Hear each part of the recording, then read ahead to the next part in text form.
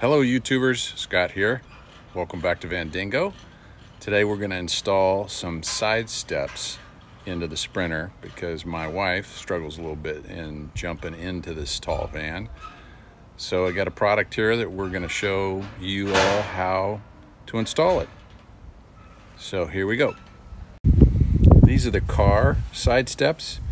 They're aluminum. They come with these uh, stainless steel brackets. I've already installed those, uh, a couple of bolts for each. Um, directions are pretty clear, and I know already based on when I put them up to the van to see both the angle and the fit that I'm going to be using these smaller size spacers for my application. These work on ProMasters and on Ford Transits is my understanding. And so there's some sheet metal screws for the top part of the bracket and these longer bolts um, that go into the bottom part of the bracket and come through the pinch weld at the bottom of the, the unibody on the Sprinter. So I'm going to move the camera up under there and you can see how these bolt on.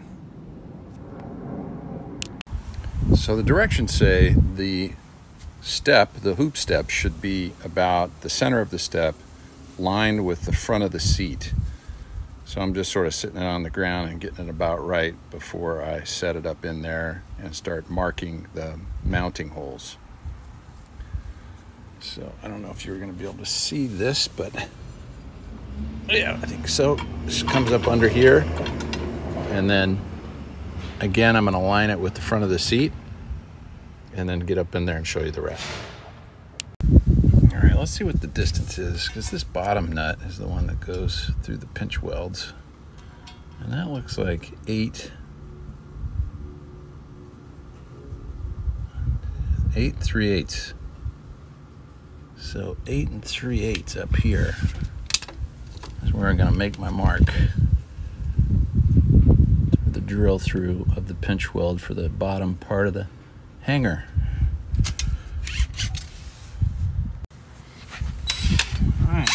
We go.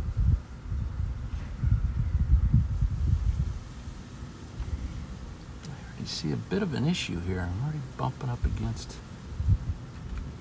Let's see if I can get some. Alright, second one.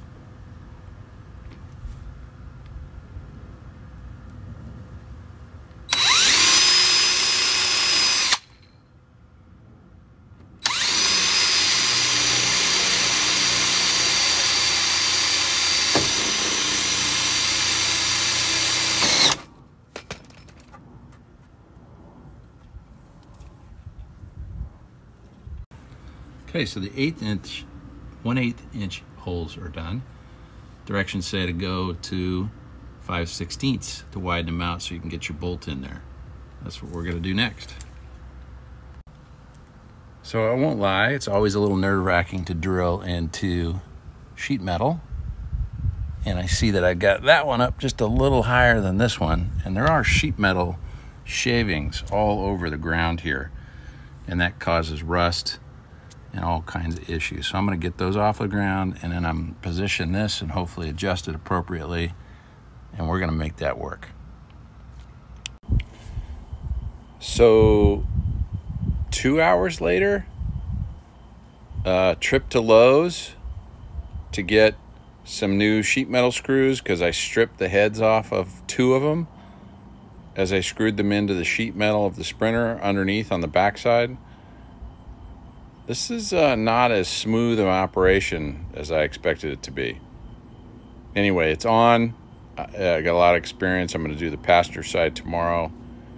Um, and, you know, live and learn. We can talk more tomorrow.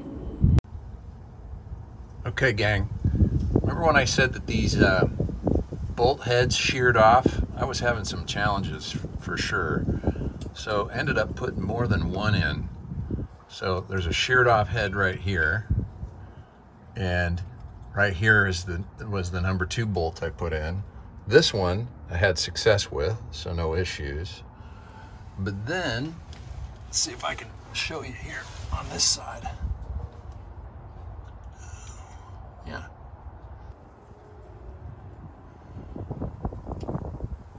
Okay, so this is almost a duplicate on the right side of that CARR step. I was uh, able to get the one bolt in and on the left side over here that bolt sheared off and I ended up having to go to the hardware store and get another one and put it in. So those bolts were really soft, challenging in terms of the torque required, even with the pre-drill, and then you know tightening them down to hold the weight that you would expect these steps to hold. So a little, little bit of a challenge, as I said. Bottom line, was able to get them in, tightened. I'm happy with them. They do handle the weight just fine, and uh, and they work.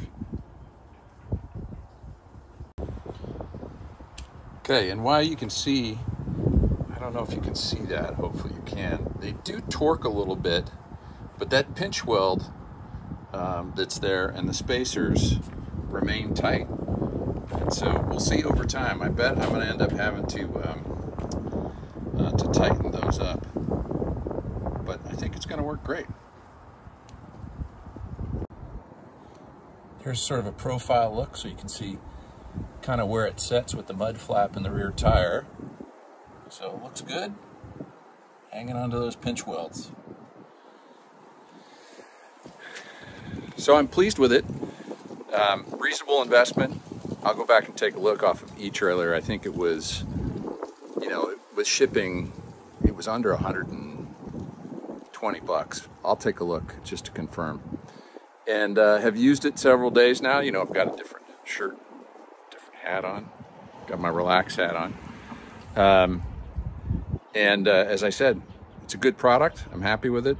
I'll, I'll definitely have to check the bolts for uh, making sure they're tight and, uh, and we'll see how it works over time. Thanks everybody, be good.